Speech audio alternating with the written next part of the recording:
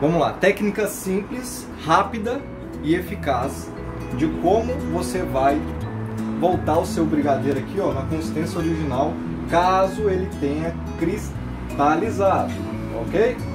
Nós vamos utilizar aqui o creme de leite, você vai utilizar 100 gramas para cada receita de 395 gramas do, do, leite condensado no caso, ok? Então dá meia caixinha de creme de leite, você vai misturar no seu brigadeiro que cristalizou e você vai deixar aqui no fogo baixo o fogão e vai mexendo devagar, tranquilamente, até ele voltar na consistência para você enrolar o brigadeiro, né? E aí aqui, ó, eu já tô eu já tinha mexido nele e já tá uma consistência bem legal, vou mostrar aqui para vocês. Ó. Ainda ele tá meio meio mole, tá vendo? Nós vamos mexer um pouquinho mais, sempre no fogo baixo, tá? No final, senão você vai queimar o seu brigadeiro. E aqui, ó, olha como que o brigadeiro ele cristalizou. Veja bem, tá vendo? Por que que isso acontece? Por que que seu brigadeiro cristaliza?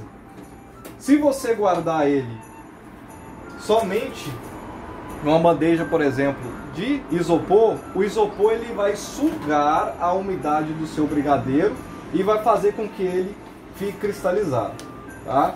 Então não guarde o seu brigadeiro, a sua massa, em uma em um recipiente, em um recipiente ou bandeja, se queira, aqui ó, de isopor, ok? Só se você colocar ele dentro de um saco plástico ou no papel filme, aí sim. Fora isso, não faça essa bobagem. Outro detalhe, por que, que seu brigadeiro pode cristalizar?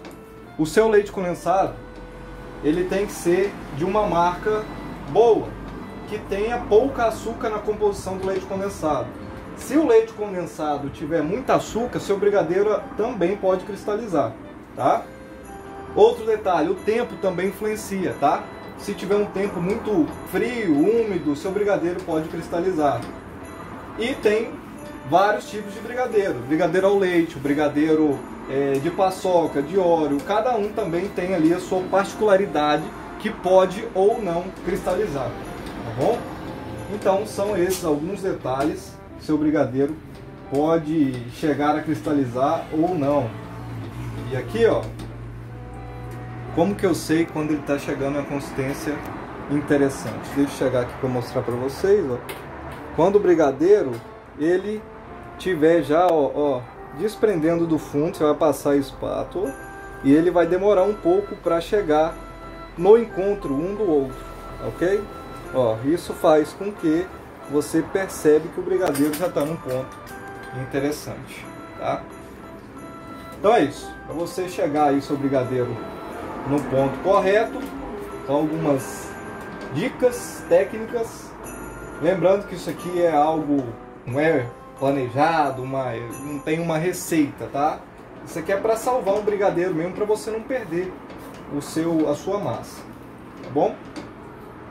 É isso. Se gostou, deixe seu like, compartilhe, se inscreva no canal se não é inscrito ainda e até a próxima.